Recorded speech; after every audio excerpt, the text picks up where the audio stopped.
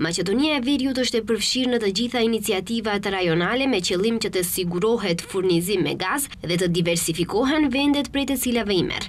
Kështu deklaroi ministri i Ekonomisë Kreshnik Bekteshi në takimin ministror për sigurinë energjetike në Sofje, në paraqitjen e tij në Konferencën Ndërkombëtare të Ministrave të Energjetikës nga Ballkani Perëndimor, bashkë me homologët e tij nga Ukraina, Turqia dhe Azerbajxhani, theksoi se pjesëmarrësit në Sofje po përballen me agresion ushtarak të Rusisë në Ukrainë, i cili shkakton humbje të mëdha për të gjithë.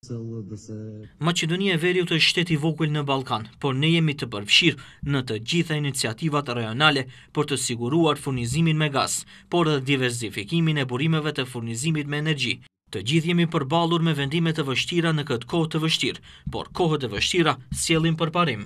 Ai ka falënderuar Bashkimin Europian për mbështetjen me qëllim të ndërtimit të interkonektorëve të rinj dhe lidhjes më të mirë të rrjetit, jo vetëm në rajon, por edhe në Europë. Qëllimi kryesor i këtyre investimeve për lidhjen rajonale të sistemeve energjetike dhe diversifikimin e burimeve të energjisë është konkurrenshmëria më e madhe e ekonomive tona, dhe çmime më të ulëta të energjisë.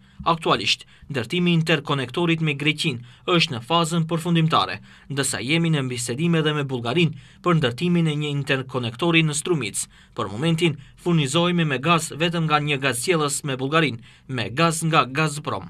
Maqedonia e Veriut do të marrë pjesë në Task Force Rajonale për Furnizim me Gaz. Bekteshi në Sofje kishte takime bilaterale me ministrat e Energjetikës së Ukrainës, German Galushchenko, të Greqisë, Konstatninos Srekas, dhe të Serbisë, Zorana Mihajloviq.